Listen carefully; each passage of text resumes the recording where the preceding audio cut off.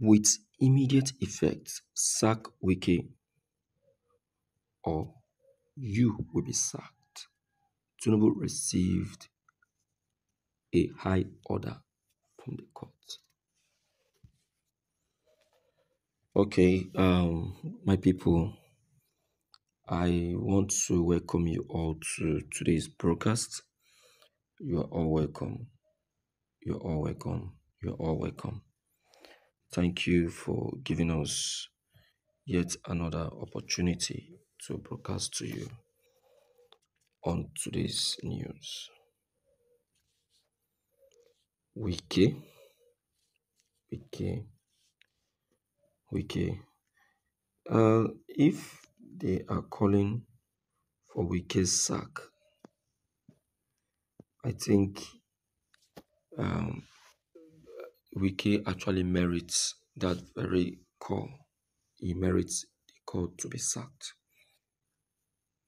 In fact, long, long time ago, Wike supposed to have been sacked. He's supposed to have been sacked, if not for politics. If not for politics. Um, Wike has been over tolerated despite the pains and the crisis he has caused to the people. You get it? He ought to have been sacked.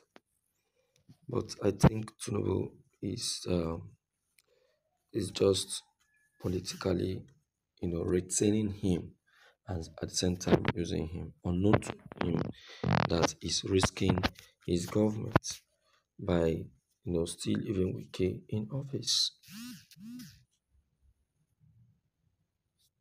You understand?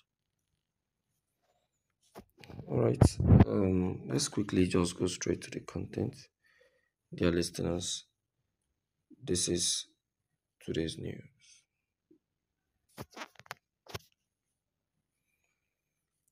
The President Bola Ahmed Tinubu has been given ultimatum to sack Wike from office with immediate effect. Primate Elijah Ayodele Babatunde has asked President Bola Ahmed Tinubu to relieve one of his cabinet members of the duty if he too hopes to achieve his Renew Hope agenda. According to Ayodele, Nigeria deserves truly competent personalities. The cleric advised President Tinubu to immediately act to restore Nigeria's sports glory and ensure that the country athletes are given the support and resources they need to succeed.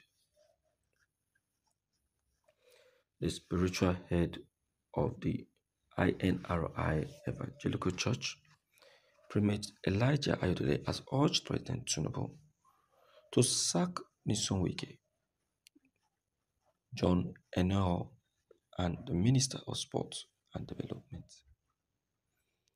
In a video shared recently on his known X, formerly known as Twitter, Ayodele cited teams Nigerians' poor performance at the recent Olympics held in Paris, France. Nyesom Wike has been an issue to your governance. He has come to only to destroy and not to repair.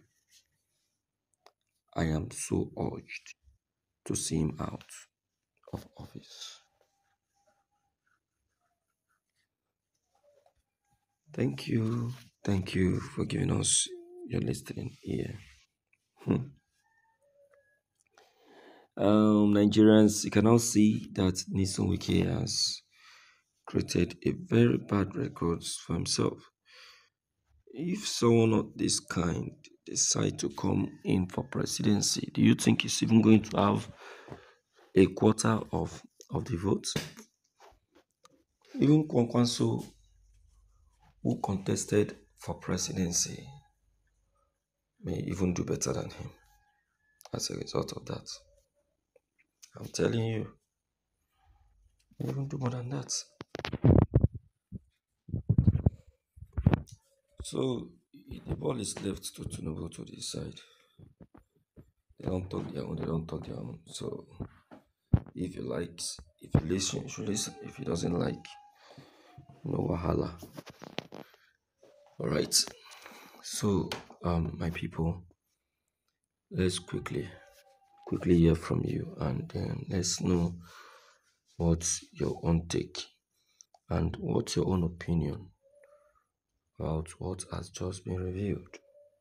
Maybe it is a pleasure. Don't forget to click on the red subscribe buttons as well as the bell button.